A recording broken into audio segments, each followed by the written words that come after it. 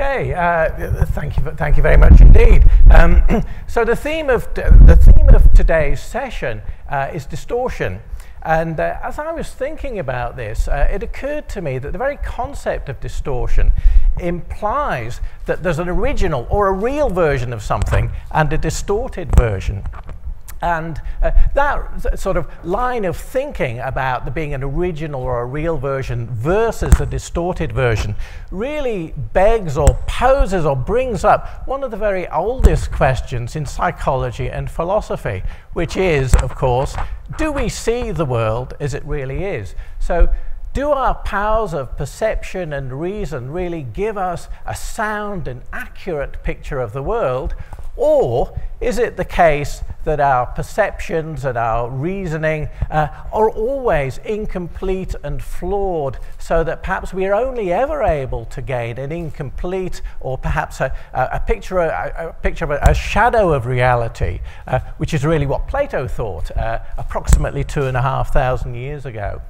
Um, of course, uh, the everyday answer, the everyday answer to this question is that perception certainly seems to work perfectly accurately and perfectly well. Uh, despite all the glare, uh, I can see a world of people. I can op open my eyes and see a world of people and objects and be very, very confident that I can take a few steps forward and walk around the obstacles in front of me, pick up the objects and talk to the people talk to the people that are, that are here. So, um, so perception seems to work perfectly well. We seem to open our eyes. It seems simple and effortless. Uh, but is it really that simple? Is it, is it really that straightforward?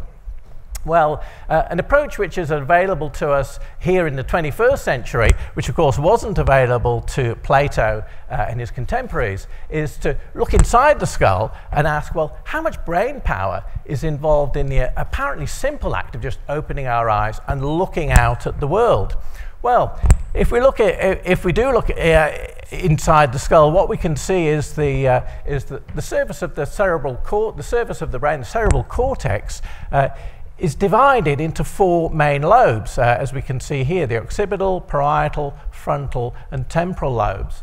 And it turns out that all four of those lobes of the cerebral cortex are critically important for vision. Uh, not only that, of course, underneath the cortex there's a whole range of subcortical brain structures, and it turns out that several of those are also critically important for vision.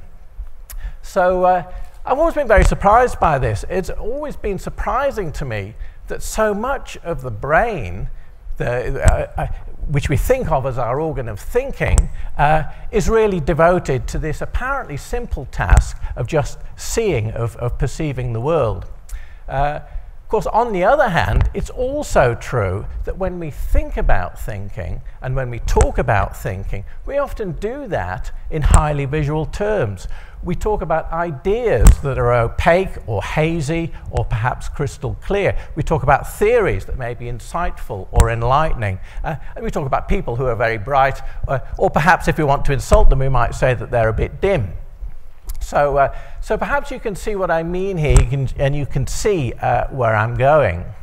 So, uh, so vision is something that in our everyday lives we take completely for granted, uh, and we use phrases such as seeing is believing.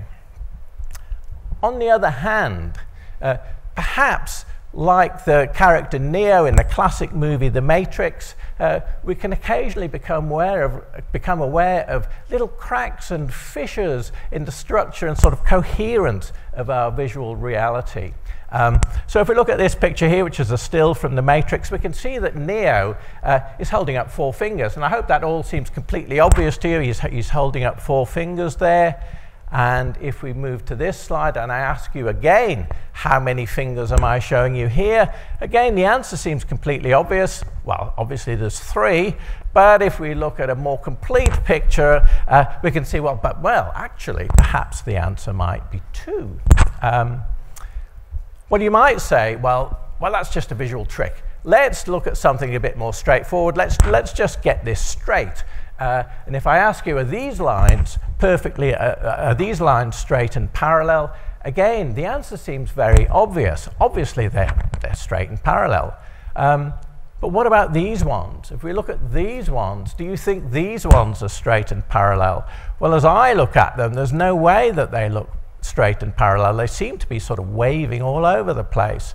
But if we superimpose the two slides, we can see that in fact both sets of lines are perfectly straight and perfectly parallel. Uh, so this is a very well-known illusion. It's called the cafe wall illusion, and it's called that because this man here, a very eminent uh, British psychologist called Richard Gregory, was having his lunch one day, several, uh, many decades ago in Bristol, and he glanced across and saw this, uh, this particular cafe wall, actually, uh, noticed the illusion, described it, and then studied it. And a uh, little bit, little bit closer to home, actually, here's a, here's a much more scaled up version of the cafe wall illusion, uh, which I believe you can see on the side of this building uh, in Melbourne.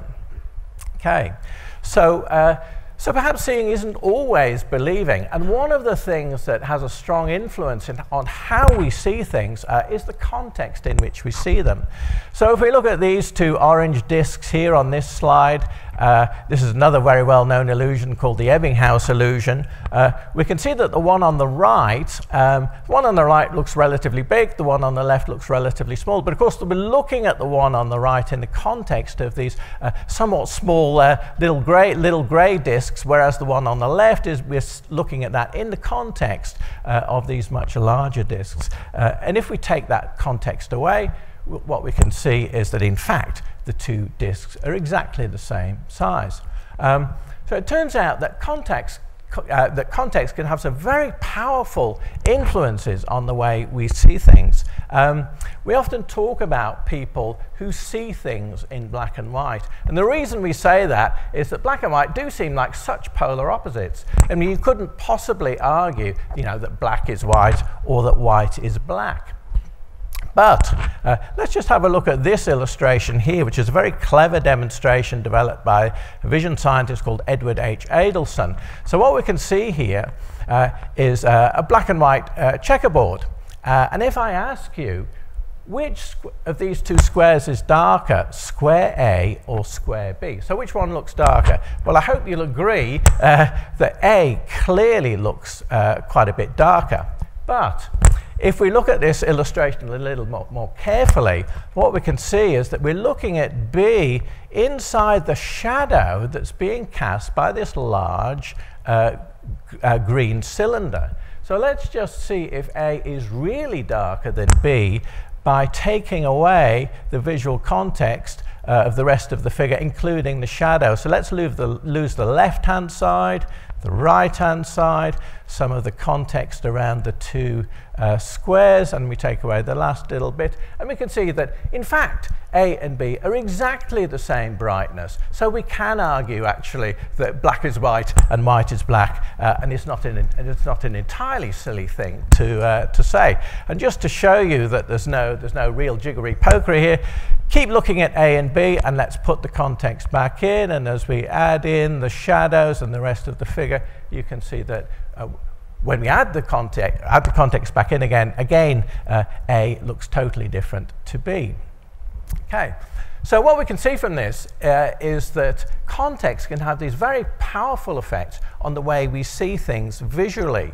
So what about how we see uh, the world of ideas and beliefs? Can context also have powerful effects in that more abstract cognitive domain? And I'll illustrate, uh, I'll illustrate this by talking about a very well-known study uh, carried out by these two psychologists here, Daniel Kahneman and Amos Tversky. Uh, and as many of you will know, uh, Kahneman uh, went on several years, uh, several years after this study was, many years after this study was published to, to win the Nobel Prize. So back in the early 1970s, Kahneman and Tversky dreamt up this scenario, which as you can see is spookily relevant to the situation in which we find ourselves today. What they uh, asked their research participants to do was to imagine that the country they were in, uh, New Zealand in this case, uh, is preparing for the outbreak of an especially virulent virus. And people were told if urgent steps are not taken, we're going to lose 600 lives. So then the participants were asked, uh, were presented with this choice they were asked to choose whether or not we should adopt program A or program B. So, pro, so, the programs could be to do with uh, alternative vaccines, or it could be to do with lockdown protocols and so on. Uh, some procedure for reducing the impact of the virus. And what the people were told was, well, if we go with program A, 200 people are going to be saved. Whereas if we go with program B, there's a 1 in 3 probability that 600 people will be saved and a 2 in 3 probability that no people will be saved. So when faced with that choice, a large majority, 72%, chose program A. They preferred the certainty uh, of saving those 200 lives. However, what Kahneman and Tversky also did was to recruit a second group of participants and and second, this second group was given this choice. They were told if we adopt program A, 400 people are going to lose their lives, whereas if we adopt program B, we have a 1 in 3 probability that no one will die, and a 2 in 3 probability that 600 people will die. When faced with these choices, a similarly large majority, in fact, a slightly larger majority, went for program B. But if you look at these alternatives carefully, or even not that carefully, you can see that in fact the information is exactly the same. Uh, losing 400, 400 of the 600 lives is exactly the same as saving 200 of the 600 lives. And the information in for program B is also, in fact, identical. So what we can see from this uh, is that is that if we present uh, essentially identical, identical information in different frameworks, in different contexts, we can produce radical changes in people's preferences and judgments. So if we present uh, um, yeah, we, we, we, can produce these very strong changes uh, ju just by changing whether or not we present the information in terms of saving lives or in terms of losing lives. Um, so we've got an election coming up here in a few weeks' time, and I gather there's another election uh, happening in America at the beginning of November. Uh, and of course, if any of the candidates and parties in those elections won a majority in the mid or high 70%, uh, uh, they'd be absolutely delighted and ecstatic. So, uh, so what we can see from this uh, is, is that these context effects can produce very powerful and very dramatic effect, very dramatic influences uh, on people's preferences. So context can be critical. Uh, in perception, even when you're judging something that seems simple and straightforward, such as how bright something is, how large something is, whether or not we have a straight line, but also when we're making these complex high-level judgments about what we should do uh, when faced with a global pandemic. So, uh, so what, what can we learn from this? What can we conclude from this? Uh, you might be a little bit worried at this point and think, well, can we ever really trust our own perceptions and our own judgments? Is our view of the world really at the mercy of the particular and specific context that we just happen to find ourselves in. Uh, you might uh, worry and feel like W.B. Yeats that your, uh, that your head is spinning uh, at this point because the things you thought you could see clearly uh, and the foundations of your beliefs and judgments, perhaps suddenly they don't seem so firm anymore and perhaps they're suddenly more fragile and, and perhaps prone to disintegrating. Well, I think that would be that would be a very negative uh, a very negative uh, uh, conclusion. But I, and I think there's a much more positive way of thinking about the way in which context can influence our perceptions and our judgments.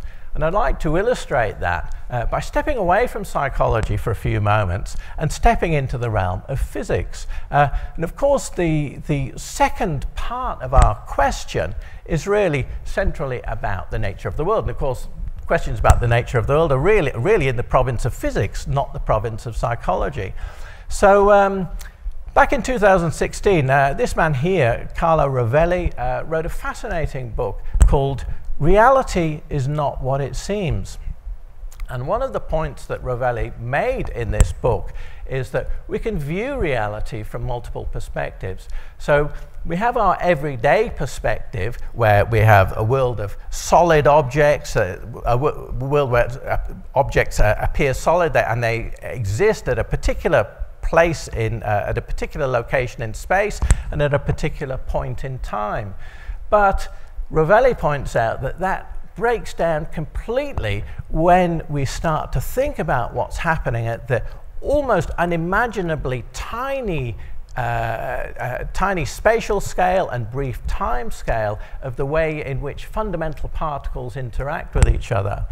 And of course, our perceptions of time and space are also radically different when we consider the, the, much, uh, the almost unimaginably large time scales where stars and whole galaxies may form. So, so, reality, so we can see reality from multiple perspectives. So, so I think the, the, the message that I'd like to finish with is to say that when we approach a really big question, such as do we see the world as it really is, we're very unlikely to get a complete answer by looking at it from a single perspective. If we, want, if we really want to gain a more complete, uh, a, a, better and more complete answer, we're, going to, we're almost certainly going to need to step out of our own uh, particular contextual silo, as it were. And that silo might be your, your own academic or scientific discipline. Um, uh, of course, we, of course, at the moment, we're living in, uh, in very difficult and challenging and potentially very divisive times. So perhaps there's also a more, perhaps there's also a broader lesson to, to learn here uh, about trying to think about issues from a different perspective. And of course, that different perspective might be the perspective of somebody who's at the opposite end of the political spectrum to the, to the location where you are, or it might be somebody from a different social or cultural group. Um, psychologists refer to this as perspective taking, the ability to see something as it might be seen from a different point of view. Um, and recently, the neuroscience of perspective taking has, has uh, made some quite interesting advances by looking at the brain regions that become active when you imagine looking at a visual object from a different point of view, or if you imagine adopting a different belief from the belief that you currently hold. And interestingly, uh, some very common areas are lighted up when you do both of those things, when you imagine a different visual point of view and you imagine a different cognitive point of view. Um, so that's perspective taking. It, it emerges quite early in childhood, uh, in stages between the ages of about two and five years old. Um, and the final thought I'd like to leave you with is that uh, we know that young children can do perspective taking, but perhaps it also might be something that's going to be very beneficial and helpful for us uh, to practice that a little bit more uh, as adults, uh, as well as uh, as well as when we were children. and that's and thank you very much for listening.